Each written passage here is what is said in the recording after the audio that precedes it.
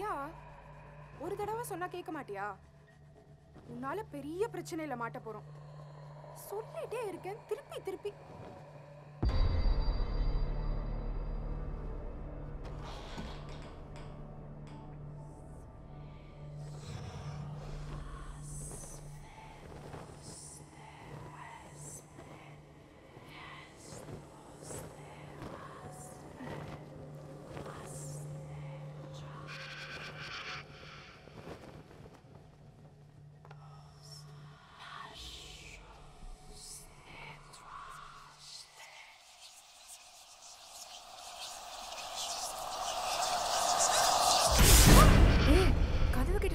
பண்ணிட்டு இருக்க ஸ்ருதி என்னடி? யாரோ வெளியே இருக்காங்கடி. ஏதோ முடங்குற சத்தம்லாம் கேட்குதுடி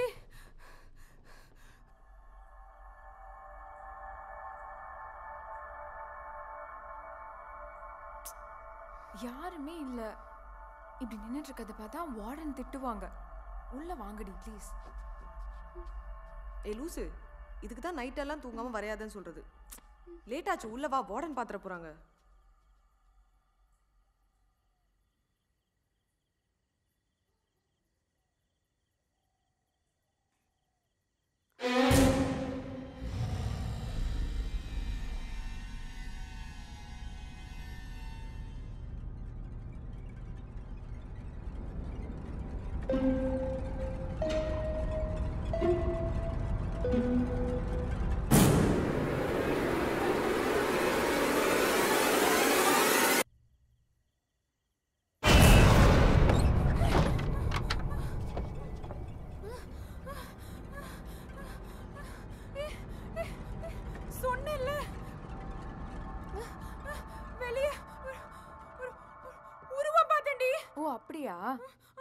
நைட் ஃபுல்லா தூங்காம வரைஞ்சிட்டே இருந்தா இப்படிதான் லூஸ் மாதிரி உளருவ.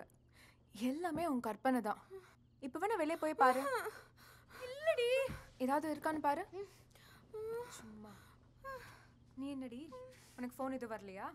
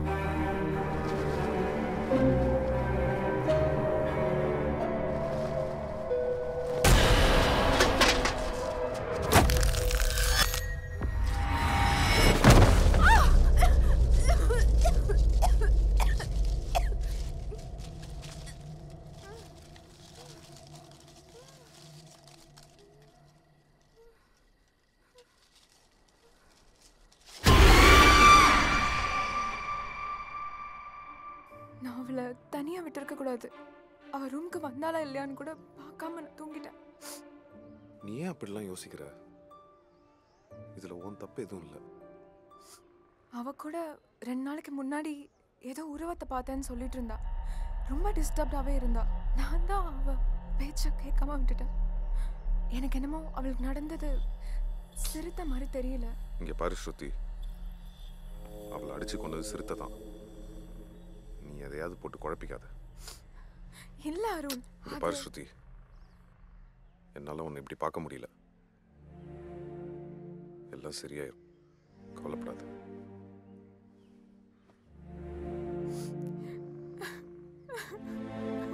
எடுத்துட்டு வந்துட்டீங்களா? எடுத்துட்டு வந்துட்டோம். குடுறா. இதை பாருங்க. இதுல என்னங்க இருக்கு? ஒரு நிமிஷம்.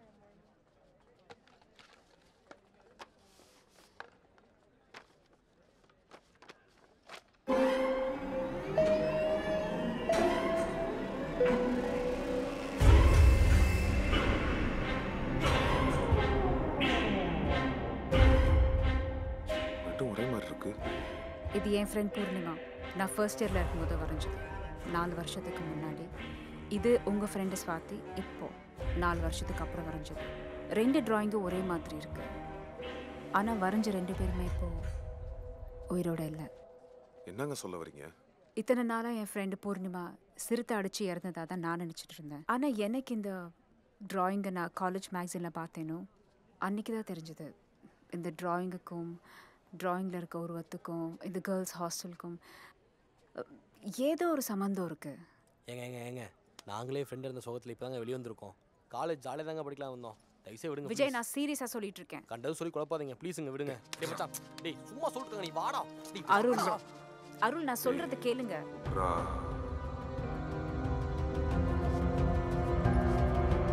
அருள்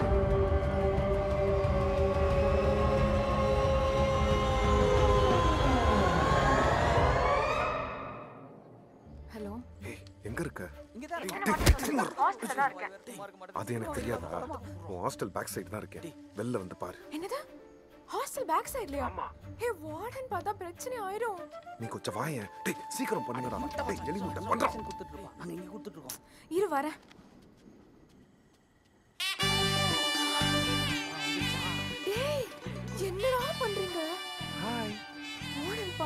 பெரிய பிரச்சனை ஆயிடும். தயவு செஞ்சு போங்கடா.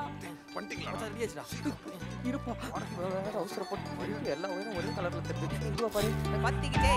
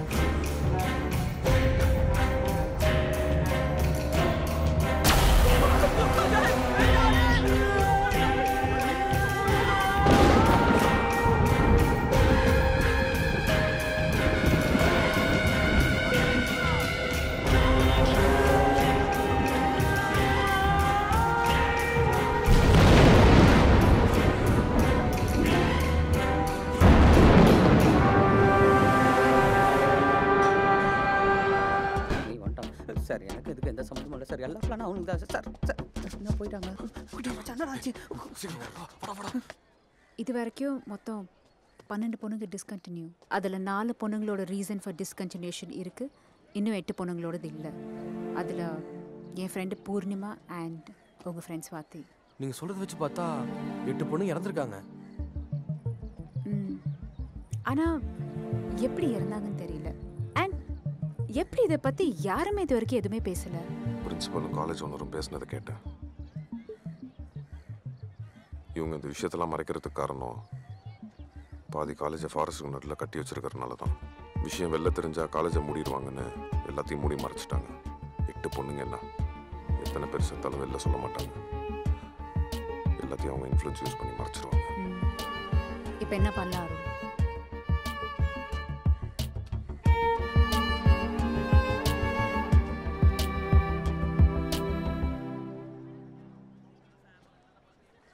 காணாம போன பொண்ணுங்களோட ஃபாதர்ஸ் ஆக்குபேஷன் பாருங்க.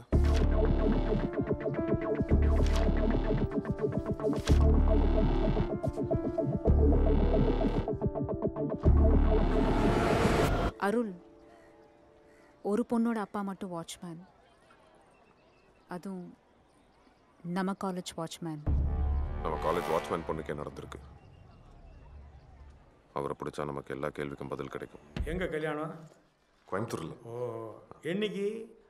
இருபத்தாறு இருபத்தி ஏழு இருபத்தி ஆறா இருபத்தி ஏழாப்பா இருபத்தி ஏழு சரி நானும் என் பொண்ணும் கல்யாணத்துக்கு வந்துடுறோம். என்ன இப்போ வேலைக்கு போயிருக்கிறா? சாயங்காலம் வந்த உடனே சொல்லி நாங்கள் ரெண்டு பேருமே வந்துடுறோம். உங்க பொண்ணு உயிரோட இருக்காங்களா? என்னது? டேய் யாரா நீங்க? ஆ?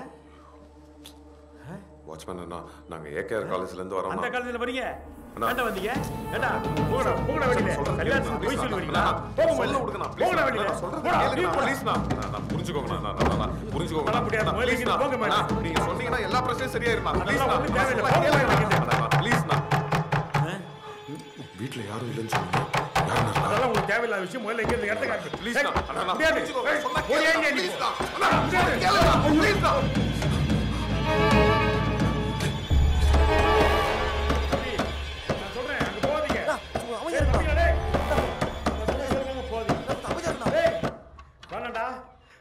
கதவை திறக்காதீங்க,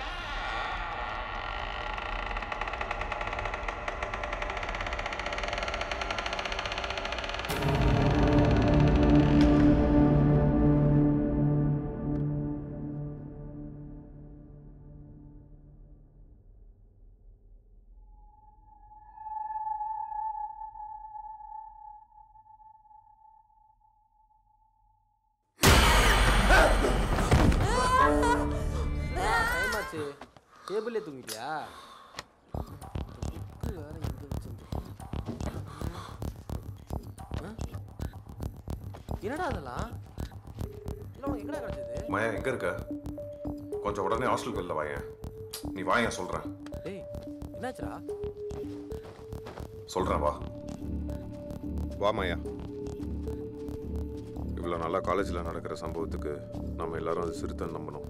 அதே மாதிரி தான் காலேஜ் மேனேஜ்மெண்ட்டும் நம்புச்சு. ஆனால் இந்த கொலைக்கெல்லாம் காரணம் சிறுத்தை இல்லை சிறுத்தலையா அப்போ நீ காலேஜ் வாட்ச் சொல்றதெல்லாம் நம்புறியா? உண்மை அதெல்லாம்? ஆமாம் நீ சொன்ன மாதிரி போலீஸ் ரிப்போர்ட்ல இருந்து போஸ்ட்மார்ட்டம் ரிப்போர்ட் வரைக்கும் எல்லாத்துலேயும் சிறுத்தைன்னு தான் இருக்கு. ஆனால் எந்த சிறுத்தையும் ஒரு பேட்டர்னில் கொல்லாது பேட்டனா என்னடா சொல்ற? இங்கே பாரு உனக்கு புரியுற மாதிரி சொல்கிறேன் ஒரு மனுஷன் கோவத்திலையோ இல்லை பழிவாங்குற நோக்கத்துக்காக கொலை பண்ணுவான். அதே மாதிரி மிருகம் பசிக்காகவோ இல்லை மனுஷங்கிட்ட இருந்து தப்பிக்கிறதுக்காகவோ கொலை பண்ணும். ஆனால் இது ரெண்டுமே இல்லாமல் ஒரு ஒருத்தங்களையா தேர்ந்தெடுத்து அவங்கள ரசித்து ருசித்து கொலை பண்ணுறவன் தான் இது எல்லாத்துக்கும் காரணம். அப்போ சிறுத்தையும் இல்லை மனுஷனும் இல்லைனா அன்னைக்கு நம்ம பார்த்தது பேயா? அது பேய் இல்லைடா. அவன் ஒரு சைக்கோ என்னது சைக்கோவா டேய் என்னடா சொல்றான் அவன்? இங்கே பாரு மணிமேகலை அப்பா சொன்னதை வச்சு பார்த்தா யாரோ ஒருத்தன் தான் ஹாஸ்டலுக்கு வந்து யார் கண்ணிலையும் படாமல் அவனுக்கு தேவையான பொண்ணுங்களை தூக்கி கொலை செஞ்சு சிறுத்தை மேலே பழிய போட்டு எல்லாரையும் நம்ப வச்சு சந்தோஷமாக சுற்றிட்டு இருக்கான். இப்போ அவன் எங்கடா இருப்பான்? இது சாதாரணமாக பார்க்க ஏதோ மரக்கையில் உடஞ்சி விழுந்த மாதிரி தான் தெரியுது. ஆனால் இதுவே ஒருத்தன் தனக்கான வந்துட்டு போகிற வழியாக வச்சுருந்தா. என்ன சொல்ற அருள்? மணிமேகலையும் அவன் ஏதோ காட்டில் தான் அடைச்சி வச்சான்னு அவங்க அப்பா சொன்னார்.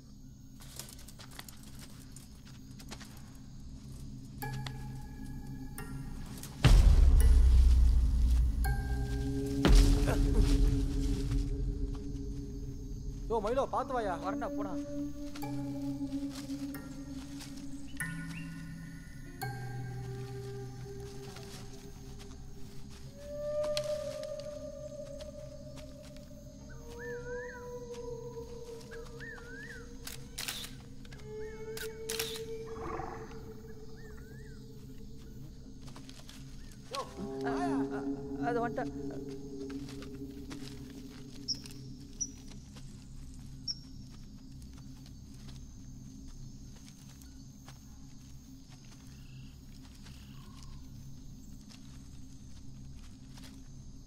அருள்.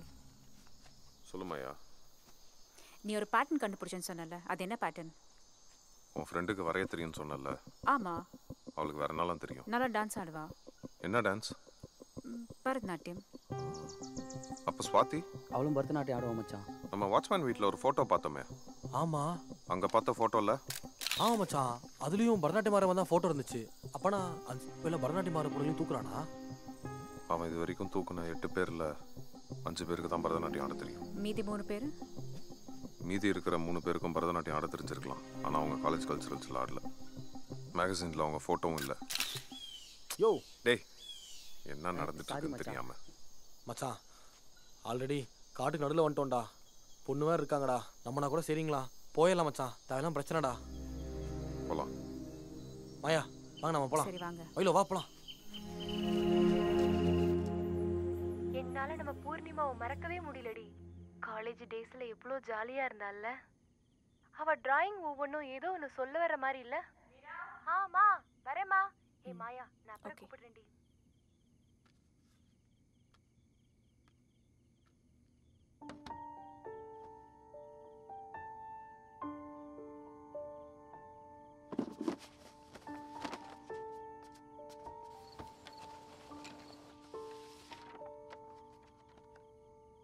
சொல்லுங்க சார் எப்படி இருக்கீங்க? காட்டுக்குள்ள ஏதோ பொண்ணு கூட ட்ரெக்கிங் போனீங்களாமே. ஏய் அப்படிலாம் கிடையாது. நான் உங்ககிட்ட அப்புறமா எக்ஸ்பிளைன் பண்ணுறேன் ஆமாம் இதை யார் உங்ககிட்ட சொன்னா? நீங்க எப்படி சார் சொல்வீங்க? மயில சொன்னான் அவனா? அவனுக்கு இதே வேலையாக போச்சு.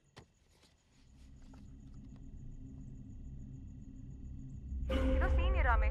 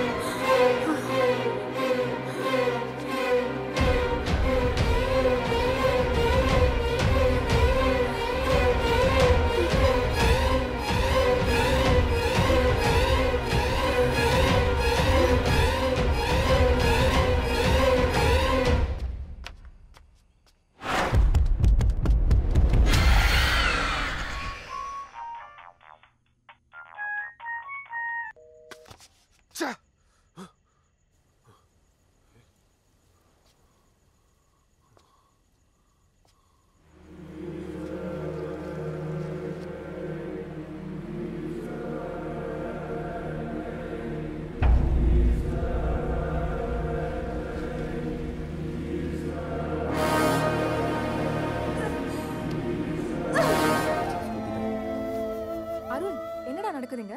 நேத்து பார்த்தா அந்த பொண்ணை கூட்டிட்டு காட்டுக்குள்ள போனீங்க. பார்த்தா அந்த பொண்ணு இறந்துருச்சு. கேட்டா சூசைட் பண்ணிட்டான்னு சொல்றாங்க. இப்ப சொல்ல போறியா இல்லையா? பாரு. இந்த காலேஜில் நடக்கக்கூடாதெல்லாம் நடக்குது. அதை தடுத்து நிறுத்தணும்னா நான் சொல்கிறது கேளு. என்ன சொல்ற? எனக்கு ஒன்றும் புரியல. என்னை நம்புறியா இல்லையா? ம் நம்புறேன். இந்த டிராயிங் ஹாஸ்டலில் இருக்கிற பொண்ணுங்க கிட்டலாம் காட்டு. அதில் பரதநாட்டியம் ஆடுறவங்களாம் பார்த்து கேளு. இந்த உருவத்தை பார்த்துருக்காங்களான்னு. அப்படி பார்த்துருந்தா எனக்கு உடனே கால் பண்ணு.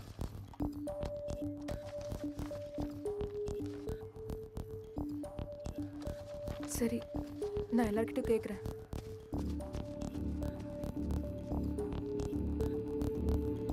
இந்த காலேஜில் ரொம்ப வருஷமாக இருக்கிறது யாரா பிரின்சிபல் மச்சான். டேய் அவர்கிட்ட எப்படா போய் இதெல்லாம் சொல்ல முடியும்?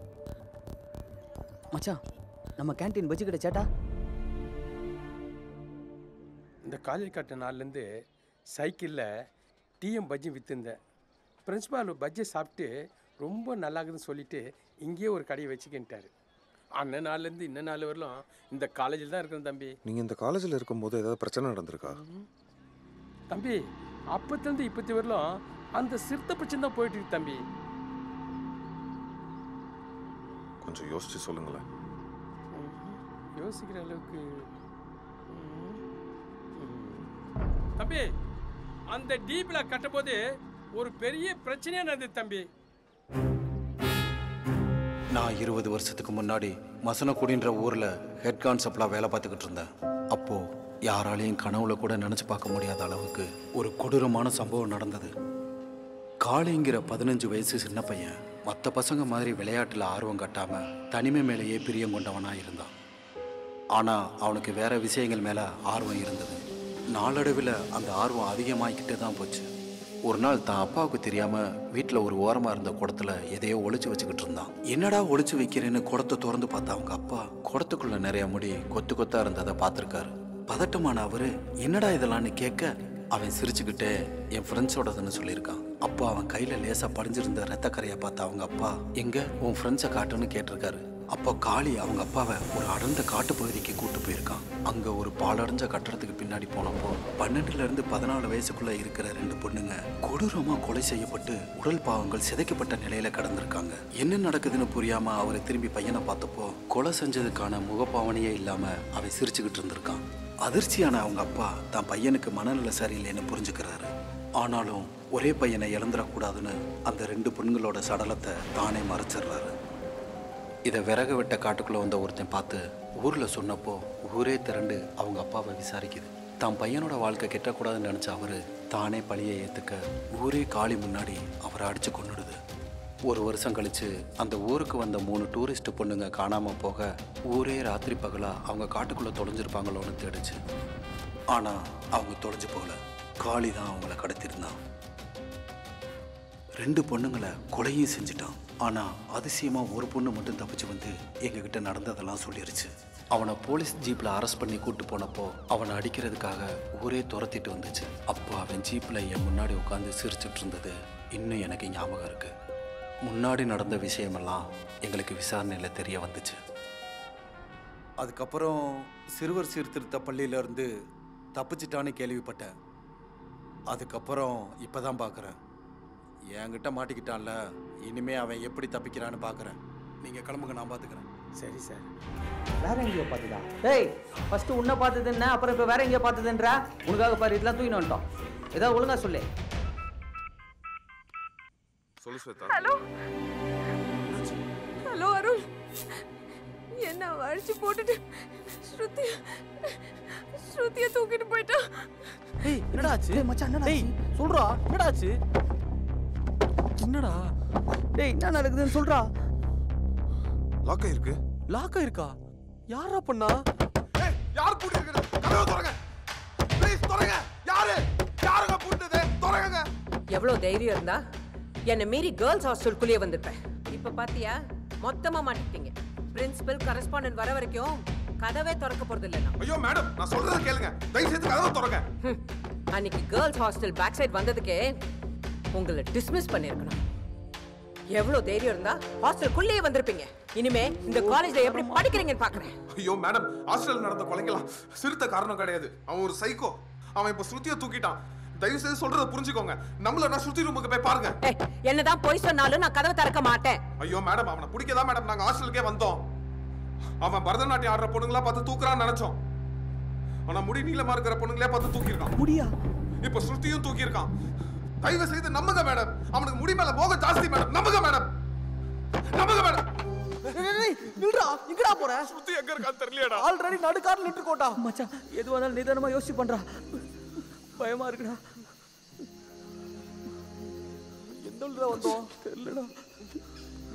வழியே தெரியலையே. எந்த பக்கம் தூக்கிட்டு போயிருப்பான்? மச்சான் பயமா இருக்குடா. பாரு. அங்கே நீ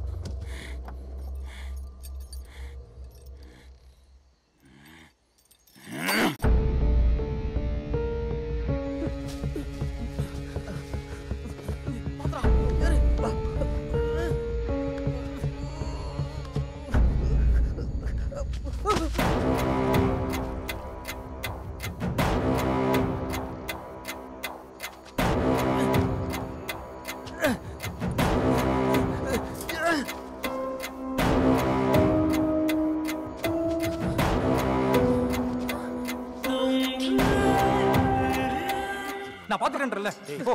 போ கூடு போடா. பார்த்து போடா. கேட்டை லாக் பண்ணு. ஆ, lock பண்ணி ரெண்டு பேர் போங்க. அந்த சைடு பாத்துக்கோங்க. ஏய் பாத்துடா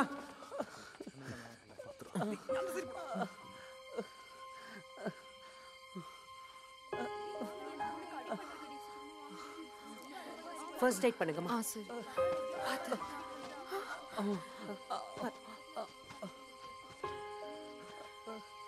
அருள் யார் அவன்? எப்படி ஹாஸ்டலுக்குள்ள வந்தான் மேம் அதுக்கெல்லாம் இப்போ டைம் இல்லை மேம் நீங்கள் தயவு செய்து போலீஸ்க்கு இன்ஃபார்ம் பண்ணுங்க. போலீஸ்க்கு இன்ஃபார்ம் பண்ணிட்டேன். அவங்க ஃபாரஸ்ட்டை சுற்றி வரதுக்கு ஒன் ஹவர் ஆகும். பொண்ணுங்களை தான் தனியாக விடுறதுக்கு பயமாக இருந்துச்சு. அதனால தான் அசெம்பிள் பண்ணியிருக்கேன் இங்கே பாருங்க யாரும் பயப்படாதீங்க. எங்கேயும் தனியாக போகாதீங்க. எல்லாரும் ஒன்றாவே இருங்க. இப்போ என்ன பண்ணுறது அருள்? சீனியர்ஸ்க்கு இன்ஃபார்ம் பண்ணியிருக்கேன் மேம் அவன் வந்தால் நான் கண்டிப்பாக பிடிச்சிடலாம். இங்கே தான்டா எங்கேயோ இருக்கான் எல்லாம் இருக்கடா எல்லாரும் அங்க பாருங்க.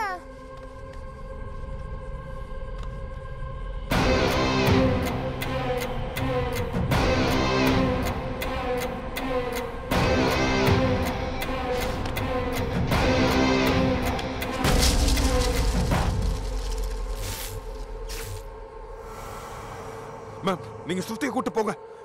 சீக்கிரம் போங்க. போங்க. り